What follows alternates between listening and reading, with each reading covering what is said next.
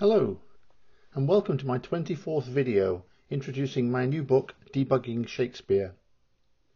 In the last video we looked at several of the bard's Nantwich based aliases including Sir Ranulph Crewe of Crewe Hall.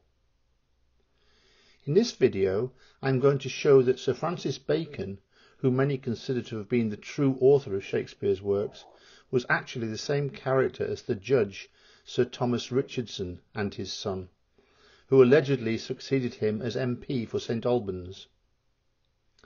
I believe that Richardson was also the same character as Sir Ranulph Crewe of Crewe Hall, near Nantwich, whom he succeeded as Speaker of the House of Commons. Richardson was also the same character as Sir Richard Hutton and his son, who he succeeded as Chief Justice of the Common Pleas in 1626. There is a clue in his first name.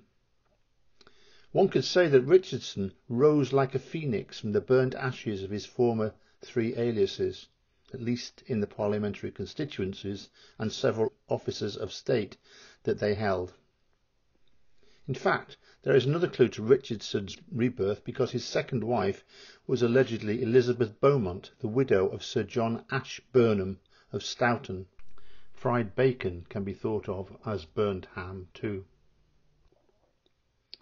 Sir Ranulph Crewe was born in Nantwich, Cheshire, and Richardson was supposedly born in Norwich, coincidentally another town with the word witch in it, like the more northerly town of Nantwich, which is only 18 miles distant from Great Yarmouth, where three of the bard's Nantwich-based suspected aliases had some business, including Sir Ranulph Crewe.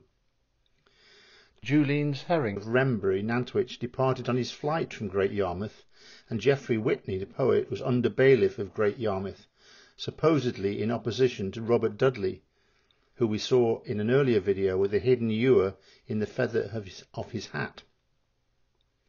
I believe a further 27 suspected bard aliases allegedly coincidentally had some association or other with Great Yarmouth, and I think it may have something to do with devur, the word for yard in the Czech language pronounced devura.